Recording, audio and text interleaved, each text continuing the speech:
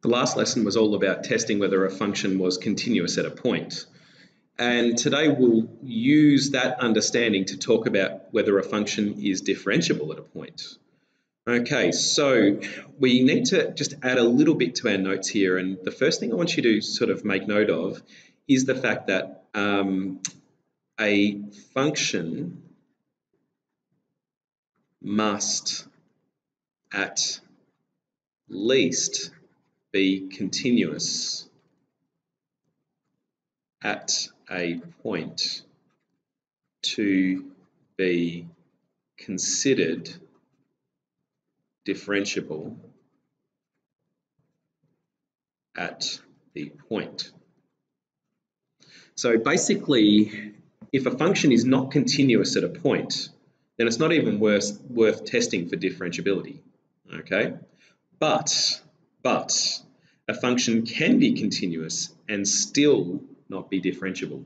So this is why I say the words at least. A function must be at least continuous at a point to be considered differentiable at the point, but it still can be continuous and still not be differentiable. And I'll explore why that is in a sec.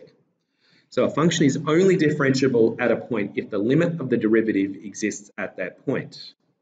Go into this um, in further detail in a bit.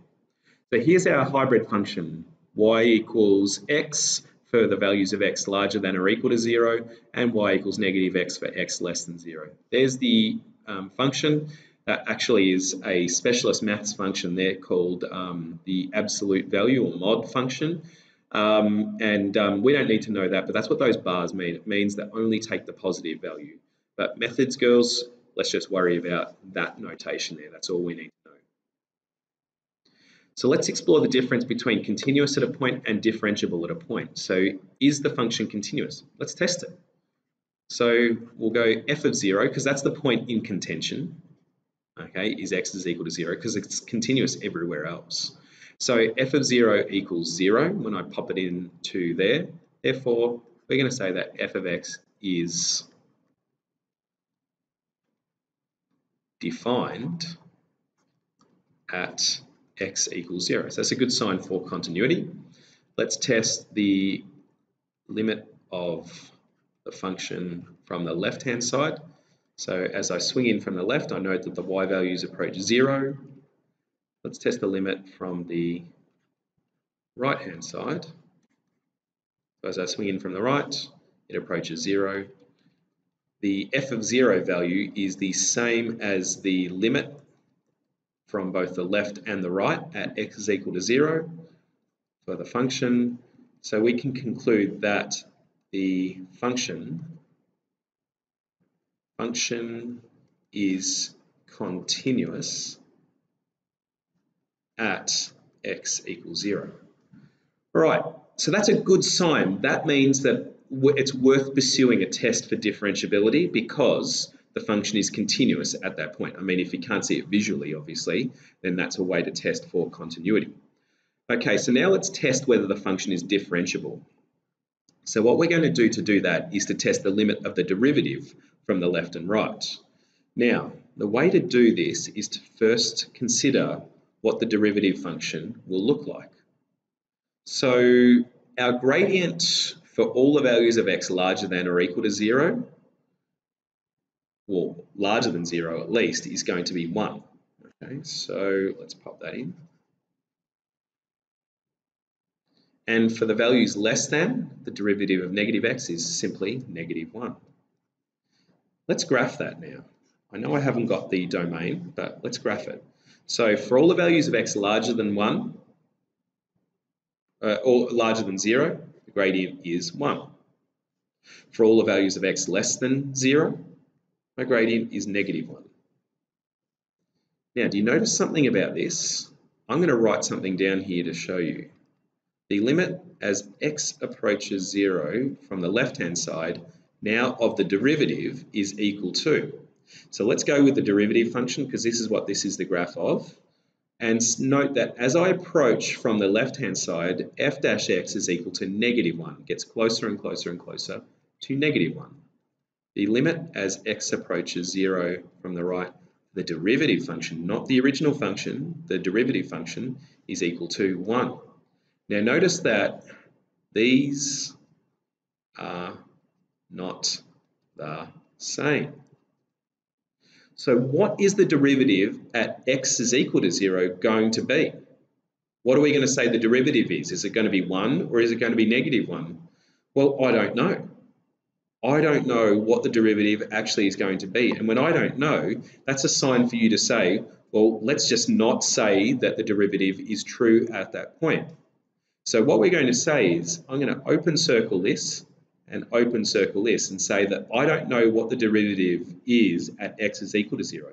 I know what it is for all the values of x larger than 0 or less than 0, but at the point itself, I'm not sure.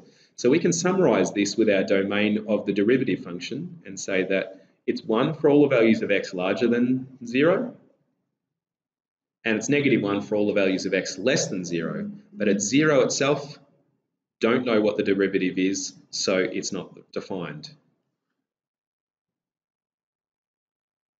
All right, draw a sketch of f dash where the graph of f is as illustrated indicate where f dash is not defined. So here we've got a function here on this side here. Uh, what's our function?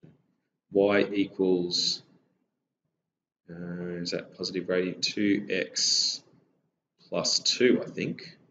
2, 0, negative 1. Yeah, that's the function there. y equals 2x plus 2. And this one here will be y equals negative 2x plus 2. All right, so the best way to um, do this is to sketch the, uh, to start the equation. So f dash x equals, so what's our derivative of this part here? It's going to be 2. So the derivative of this function here is 2. The derivative of this function here is negative 2. Let's graph it. f dash x versus x. So the derivative is 2 for all the values of x less than 0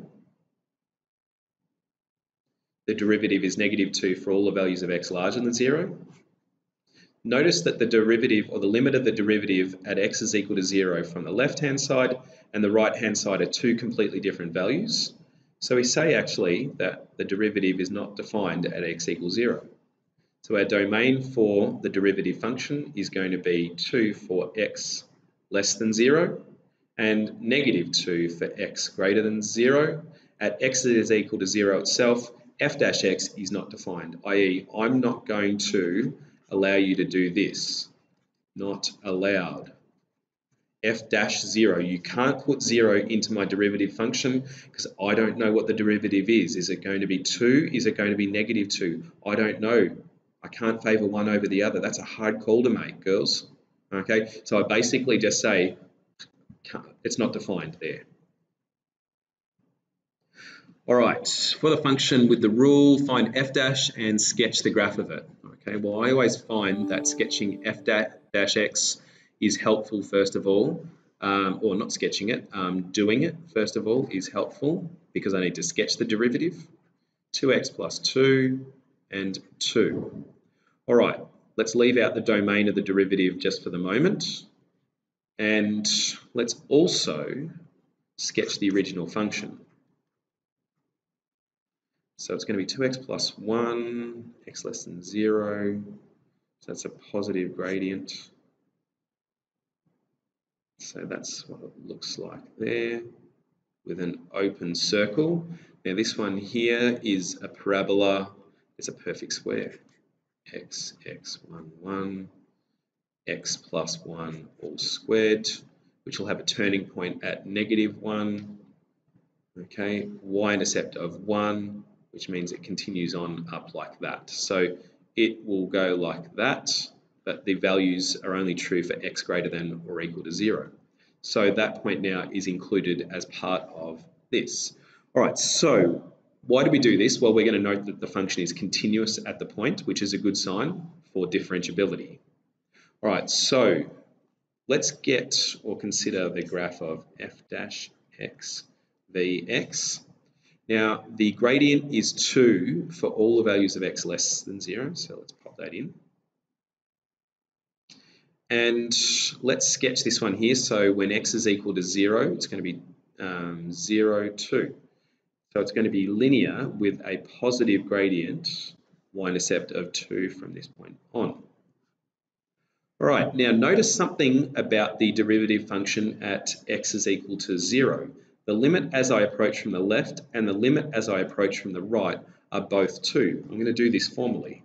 The limit as x approaches 0 from the left of the derivative gets closer and closer to 2. The limit as x approaches 0 from the right of the derivative is also 2 at that point. So what can I conclude? The limit exists. Okay, so the function is actually differentiable at x is equal to 2. So, at, at x is equal to 0 rather. So for the values of x greater than or equal to 0, this is going to be my gradient. So I can include the 0 this time and x less than 0. Alternatively, I could write it the other way, which is 2x plus 2 to x greater than 0, x less than or equal to 0. Either way, the derivative, derivative at x is equal to 0 itself is going to be 2. Okay, so it doesn't matter who that point belongs to at this time because it's both 2. Okay, let's make a little change to this last example. So as it is, we're looking for the values of x larger than or equal to 0. Let's just change that domain to be uh, 0 less than or equal to x less than or equal to 2. okay, so let's go ahead and proceed like we've been doing. So let's grab a derivative, 2x plus 2 and 1. Let's reserve judgment on the domain after we have a look at the function. So we've got a linear function here first of all, so let's grab, or just do a quick sketch of f of x. That's 1, and then 2x plus 2. Uh, that's going to be x plus 1 squared. That's the same function as before. That's just that. Okay, so the function is continuous. Okay, let's do our derivative.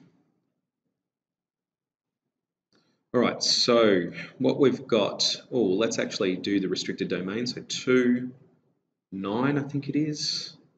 9, yep. Okay, so let's go with a gradient of 1 for all the values of x less than 0. So let's draw that in. 2x plus 2 for all the values of x more than 0. So it's going to look like that. So positive gradient or positive linear gradient. And where's it going to terminate? It'll stop giving derivatives at 2 because the function is not defined um, after that.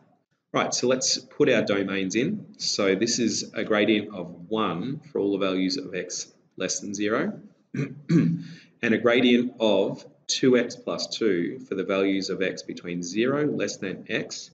And here's something that is a little controversial, less than 2, i.e. I'm not actually going to allow you to do f dash 2, All right, even though the function is defined at the value 2. Right? So why not? Well, again, let's think about this in terms of differentiability at a point. When we're considering differentiability at a point, we go and test the limit. Pop that out, made a little mistake there. We test the limit of, as x approaches 2 from the left, the derivative function, what's it going to be? It's going to be the gradient there. So 2, 2 2 to 4 is equal to 6. Let's test the limit of the derivative from the right. So as I swing in from the right, I notice that the function actually doesn't produce derivatives there. So it's not defined.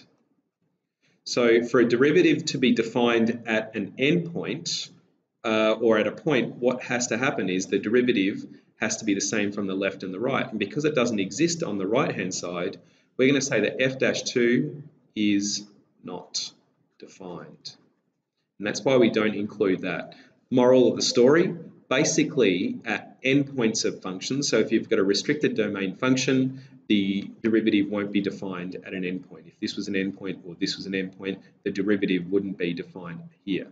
So I would open circle that to say that f dash 2 does not exist. I'm not going to give you a derivative at that point. I'll give you derivatives all the way up to, but not including it. That's an often misunderstood thing, and it was something that was an issue on the Year 12 SAC this particular year. All right, so your work today will be to go through exercise 17G, do all of the questions, there's not many, and then commence on the chapter 17 review.